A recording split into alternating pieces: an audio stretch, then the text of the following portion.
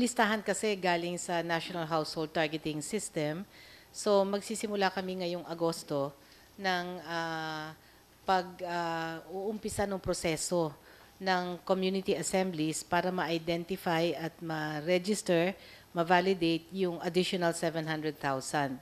Ah, ito ay paghahanda kasi magagawa naman namin na maging benepisyaryo sila kung aaprubahan ang budget. So yung aming gagawin ngayong August hanggang December ay paghahanda lamang, pagrirehistro, papaliwanag namin sa kanila na ito ay unang hakbang kung na-approve yung budget, mapapasama sila.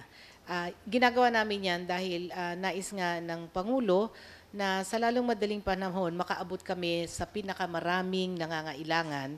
So by September 2.3 na nga, gusto sana natin na makaabot na by January, kung naaprubahan yung budget, pwede na silang magbenepisyo mula sa Pantawid Pamilya. Pero mahalaga din na yung pong mga mag-graduate, nabibigyan namin ng pansin, gaya ng sinabi ni ah, Secretary Ochoa, na mahalaga na ang aming ginagawa ay maiahon namin sila at makatungtong sila sa antas ng self-reliance.